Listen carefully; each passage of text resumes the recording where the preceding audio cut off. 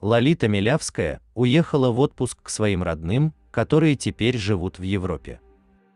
В Болгарии певицу ждали мать Алла Дмитриевна и дочь Ева. Сегодня в сети появились первые трогательные кадры семейной встречи. Во время отдыха у бассейна артистка сняла видео, на кадрах которого ее наследница продемонстрировала свой талант.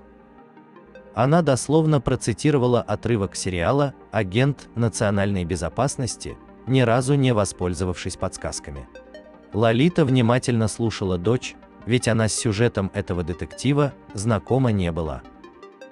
Вот и долгожданная беседа мамы и дочки у бассейна. Моя девочка такая взрослая и такая маленькая. А главное, такая любимая. Написала Лолита. Милявскую в прошлом критиковали за то, что она почти не принимает участие в жизни дочери, которая, как известно, родилась с особенностями в развитии.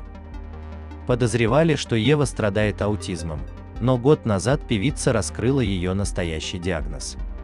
По словам исполнительницы, врачи обнаружили у ее единственного ребенка синдром Аспергера.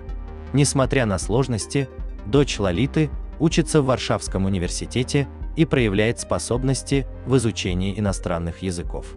Не забывайте подписываться на канал, чтобы быть в курсе всех событий, а также обязательно оцените ролик. До встречи!